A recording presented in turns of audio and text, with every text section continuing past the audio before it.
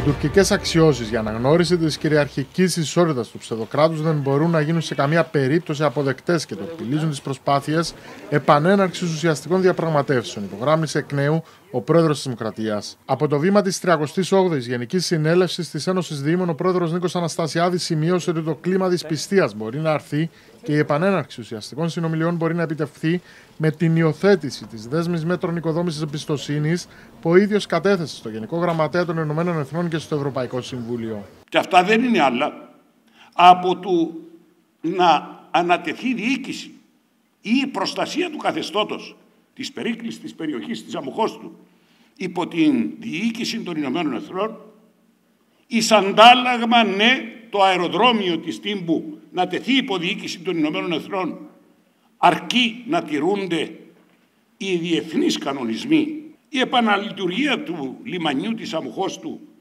με την εποπτεία της Ευρωπαϊκής Ένωσης να επιτρέπουν την προσέγγιση των κυπριακών πλοίων στα τουρκικά λιμάνια. Προσερχόμενος στη συνέλευση της Ένωσης Δήμων, ο πρόεδρος της Δημοκρατίας εξέφρασε την ελπίδα τα Ηνωμένα Έθνη, ο Γενικός τους Γραμματέας αλλά και η Ευρωπαϊκή Ένωση να συνειδητοποιήσουν επιτέλους την αδιάλακτη στάση της Τουρκίας. Δεν μπορεί να συνεχιστεί η απαράδεκτη κατάσταση, οι απαράδεκτες αξιώσεις, οι προκλητικές ενέργειες της Τουρκίας που σίγουρα δεν συμβαδίζουν με κανένα, μα κανένα, είτε ψήφισμα, είτε άρθρο της Σύμβασης των Ηνωμένων Εθνών.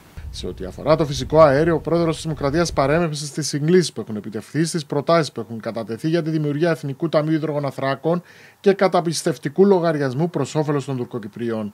Υπενθυμίζοντας την πρόνοια σε περίπτωση αναγνώρισης από την Τουρκία της Κυπριακής ΑΟΣ της εξασφάλισης του δικαιώματος των Τουρκοκυπρίων να αντλούν κεφάλαια από το συγκεκριμένο λογαριασμό πριν ακόμη τη λύση του Κυπριακού.